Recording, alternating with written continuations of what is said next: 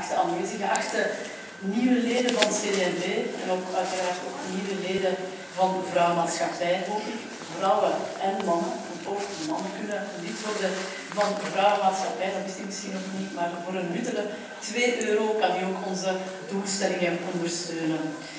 We zijn een beweging met uh, eh, 22.000 uh, eh, leden, mannen en vrouwen. Ik ben voorzitter, Els van Hoof, algemeen voorzitter van Vrouwenmaatschappij. En ik wil kort even uitleggen waarvoor wij staan. We hebben een heel belangrijke historiek. We bestaan sinds 1974. Wij zijn opgericht door Miet Smet, uiteraard. En we hebben toch wel een palmares uh, om trots op te zijn. En dat wij krachtig zijn, uh, bewijst ook nog eens een column die een journalist deze week schreef op de eerste pagina uh, van De Morgen. Ik denk dat haar partij, en zeker de vrouwen in haar partij, een front vormen om Marianne Thijssen op een historische positie te helpen. Want of je nu wil of niet, de CD&V-vrouwen behoren tot de sterkste soort. En het is Miet Smets droom dat haar partij tijdens haar leven nog een eerste vrouwelijke premier levert. Daar gaan wij voor. Dat wij geen bendeverzuurde feministen zijn, dat blijkt ook uit dit artikel, die hoort een keer van een ander. Wij leven niet naast de maatschappij, maar wij leven als vrouwen in de maatschappij. Vandaar ook onze naam, Vrouwenmaatschappij. De verbondenheidsteken ertussen tussen mannen en vrouwen. We zijn een vrouwenbeweging, een netwerk met een lokale, regionale en nationale werking.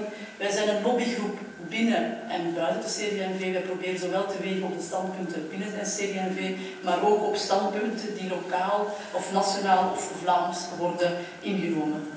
Ook minister-president heeft al veel last van ons, maar ook heel veel plezier, denk ik.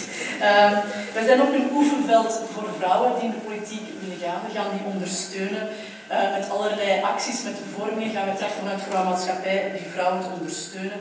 Wij zijn in deze tijden een, een, een campagneorganisatie. Wij doen er alles aan om onze vrouwen te krijgen in het parlement, te krijgen op een gunstige positie.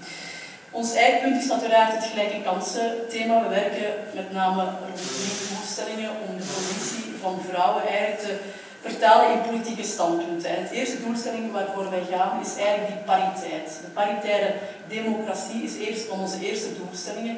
En het is inderdaad verkiezingstijd, wat doen we nu vandaag? We proberen inderdaad ook vrouwen op de lijst te krijgen in gunstige posities. Ook vrouwen die voor de eerste keer in het parlement hebben gezeten, terug een kans te geven om terug een, zitje op te nemen. Dat we niet telkens moeten gaan vernieuwen op die vrouwen, maar toch proberen die vrouwen enige ervaring te doen uitbouwen in een, in een tweede mandaat. We proberen dat ook te doen op lokaal vlak, we proberen dat ook te doen in de partij, om ook vrouwen op posities te krijgen als partijvoorzitter, afdelingsvoorzitter en dergelijke meer. Dat behoort tot takenpakket.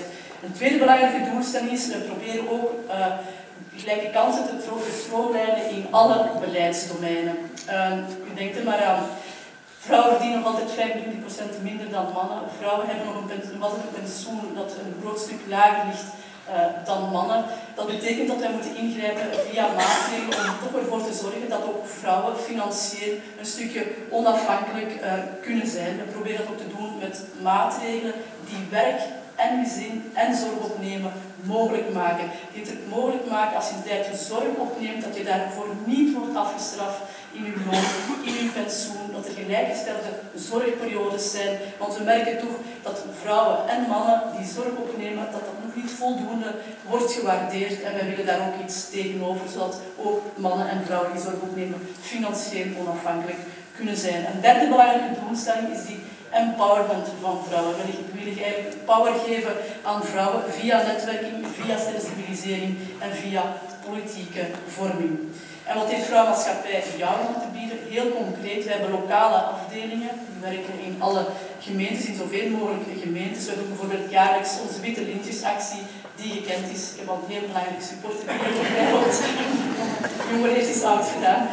Um, die Witte Lintjesactie die gaat rond tegen geweld op uh, vrouwen en die heeft altijd plaats rond 25 november, een internationale actiedag. Wij organiseren op provinciaal uh, niveau congressen, debatten, vormingen.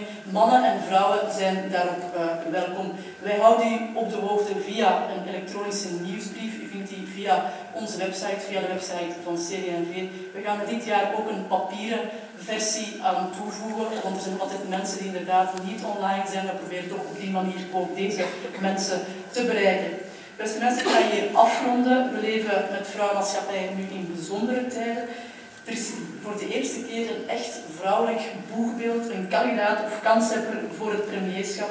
En we zullen de volgende weken tonen dat we dat waard zijn en dat wij met onze volle kracht achter Marian Prijssen gaan staan en dat wij tonen als CD&V-vrouwen dat wij de sterkste in hun soort zijn en dat wij op die manier proberen iets met haar droom te realiseren. Ik dank u.